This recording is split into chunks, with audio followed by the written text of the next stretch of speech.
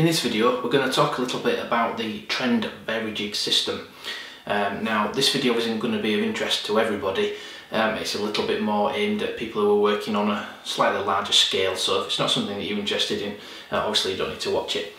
Um, so what is a Varijig system? Well this isn't in any way aimed at leatherwork because it's actually a woodworking tool. Um, now I do plan to use this for woodworking as well but it's also got uh, I think some good applications for leather work.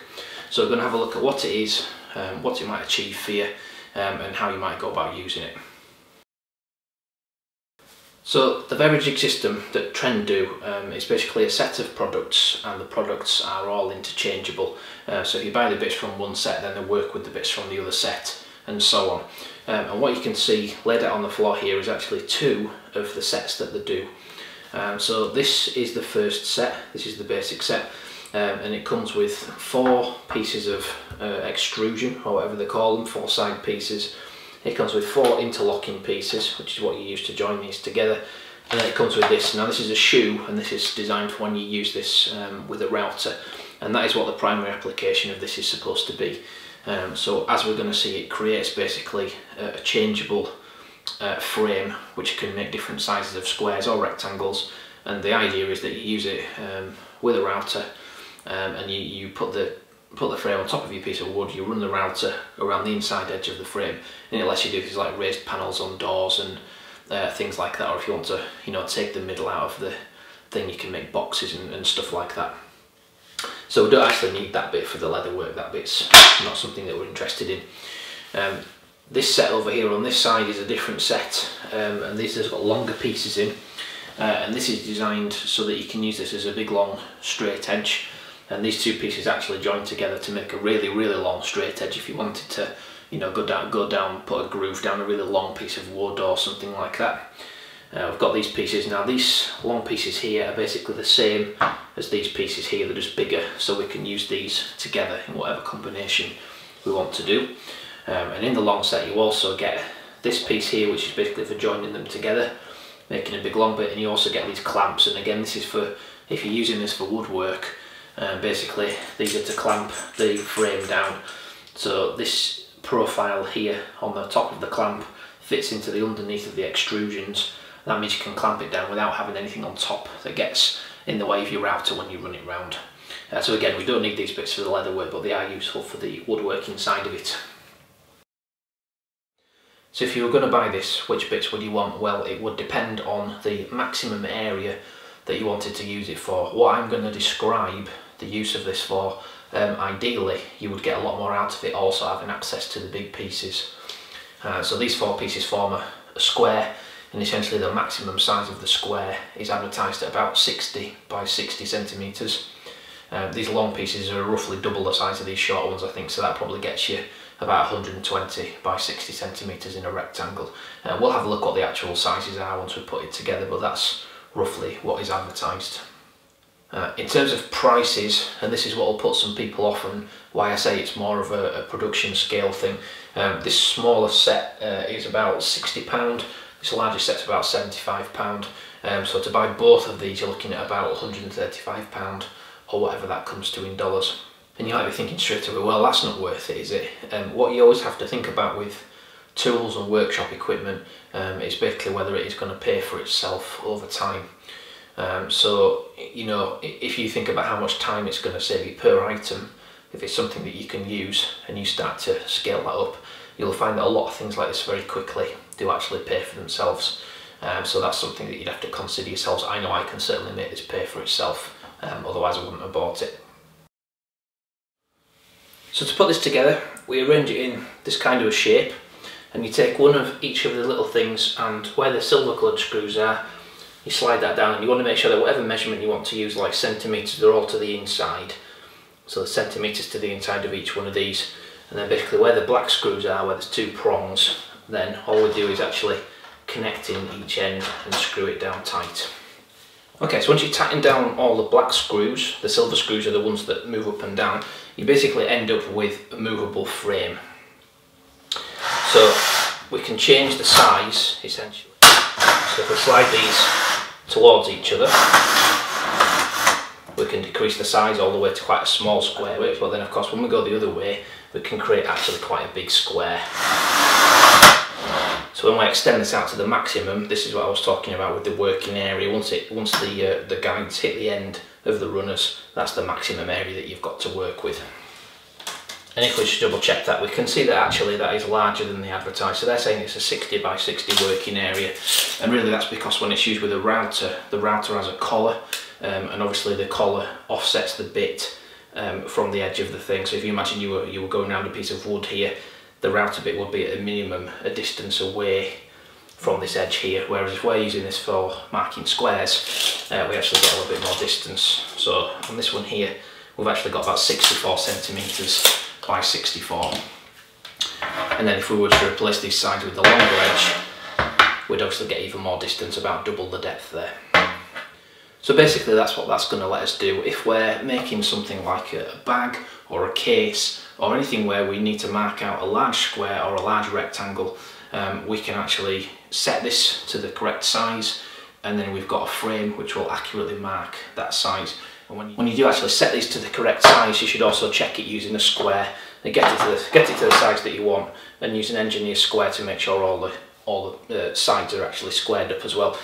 Once you set these with a square and tighten the screws down, they're made to a, a good standard, so you get very good accuracy. It's plus or minus sort of some tiny amount, you know, a fraction of a millimetre or something like that. Um, it is worth having a decent engineer square anyway if you're doing any sorts of woodwork and stuff. Um, but you should always check it with a square. So the question to think about really is then why would you want to use something like this as opposed to just marking a square on the leather? Um, and there are several advantages to this, which is why I'm showing it to you.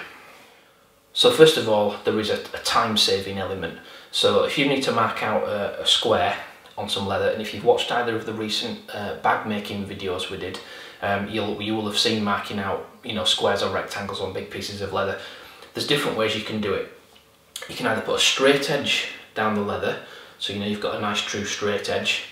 You can then whatever width you want so you're measuring a big long strip you can come away from that straight edge and you can mark down away from the straight edge mark yourself another straight edge. That gets you basically a big long strip with with parallel signs.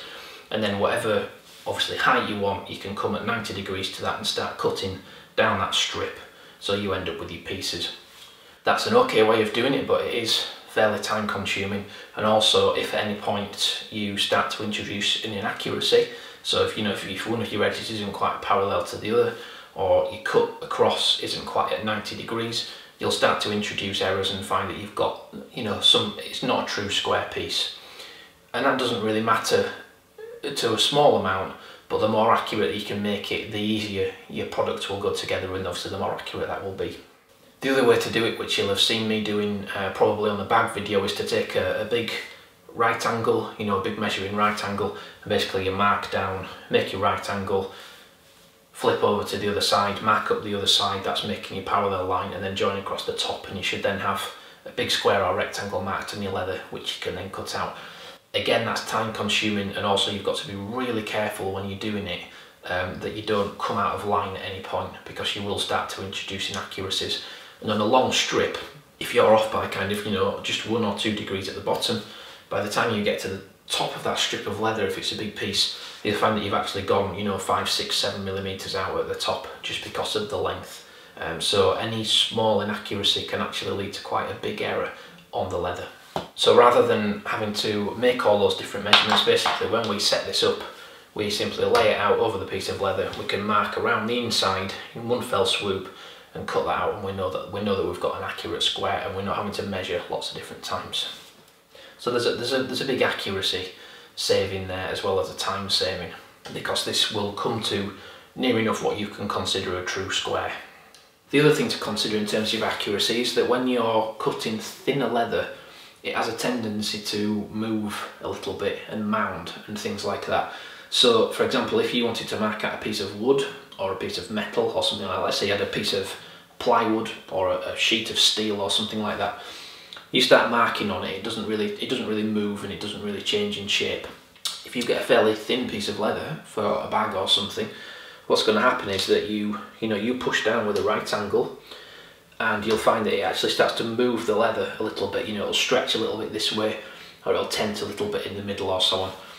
You move that square again to mark your other side, you've moved it a little bit here, you've stretched it a little bit there, things have twisted a little bit. The material doesn't behave really very well when you you know when you're actually trying to cut it. If it's thicker it's not too bad, but thinner leather certainly does does have a tendency to kind of move around on you and that way you'll find that no matter how accurately you've tried to mark that square, if you actually measure it when it's finished, it'll be slightly out.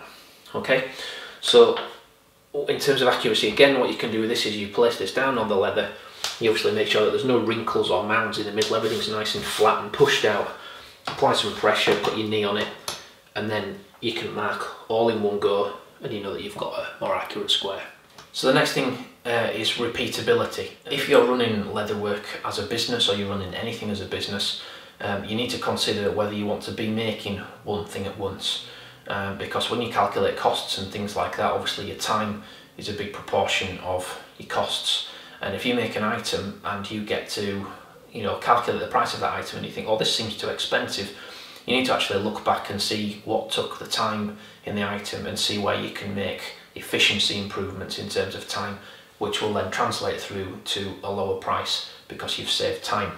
And that's not about cutting corners, that's just about working efficiently.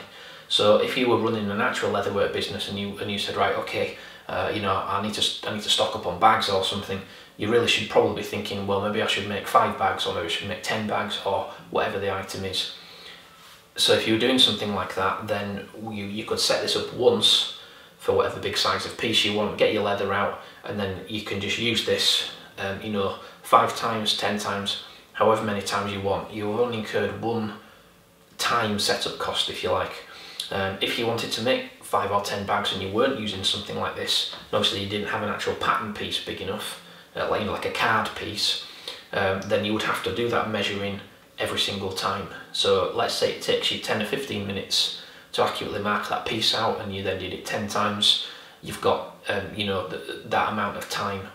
Uh, whereas if you were to reuse this, once you set it up, okay, mark 1, mark 2, mark 3, you know, in that same 10 minutes you could have as many marked. So it buys you uh, kind of repeatability and accurate repeatability as well.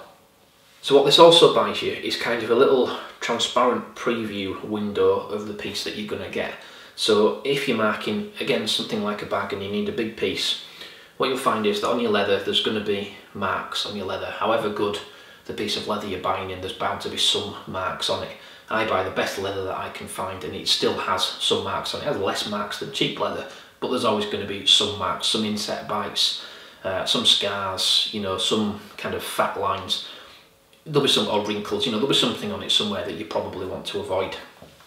So if you're trying to mark out a big piece, you can sit and look at it and you can think, okay, well, you know, there's something there and there's something there and I don't want those on it. And if you don't have a square like this, it can be a little bit difficult to kind of see if you're going to include those or not. Because So I've made things in the past where I've had a piece of leather and I've looked and I thought, okay, you know, there's a mark over here, there's a mark over here and I don't want to include those. And I've kind of looked and I've thought, right, you know, I start measuring from here and I go up and I go across and then you get up here and you're like, oh, actually this piece is slightly bigger than I thought and you end up with the bit that you didn't want on the end or something. Um, it's just sometimes difficult to kind of visualise actually how much you need until you start marking around. Um, with something like this, because you can see exactly the size that you want, you can, you can place this down on your leather and you can inspect the square that you've gone over and you can check, you know, you can check that there's nothing in there that you don't want. And if you think, oh, there's something here I don't want, you know, you can move it a little bit on your hide and you can look again and you can move it until you're happy that you've essentially framed the perfect piece that you want. And, you know, on a smaller piece it doesn't matter too much, but some of, some of these bags and things that we've made, you know, you're cutting really quite a big strip when you're making a one piece thing, so that is a big advantage in being able to see that really. Okay, so I hope you found that useful. Um, as I say, this won't be for everybody. There'll be people who think, you know, I'm not spending that much money because I would never get that amount of use out of it, or I make things so occasionally that I don't need it, or I don't make anything of that size and so on. Um, but if you're running an actual business like I am, um, you will, you well, it's up to you to decide, but you may find that something like this um, actually pays for itself quite well. Um, in, in terms of the, the accuracy, the repeatability and everything else that we've talked about. And as I say, I will also be using this for woodwork as well, so it's dual purpose. Um, I just thought that it's something that can be adapted to leatherwork. Um, you know, don't be scared to use things for leatherwork that aren't necessarily designed for it. Um, there's plenty of tools that people make for other things and probably never even think about leatherworkers. Uh, but if you spot something and think, you know, I can actually, I can purpose that, um, then go ahead and give it a go. There's, there's absolutely no reason why not. Okay, thank you for watching.